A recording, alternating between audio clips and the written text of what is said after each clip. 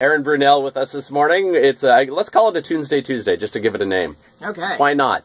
Uh, making up songs for our listeners. Who do we have up coming uh, up next here? The, All right. Is this from Facebook? Is it or? I think so. Yes, right? it is. Okay. This one's from Jamie. She told us that she's an accountant and she's a mom of three boys, two twins, and a wild two-year-old. And uh, her husband's deploying for the first time next month. All right. All right, let's hear it.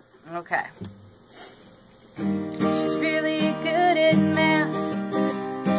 She's got some twins and a two-year-old hellion.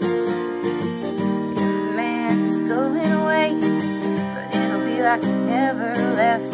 Cause your boys will still leave the toilet seat up, I bet. Ah, nice. Woo! That's Very pretty. good. That's fantastic.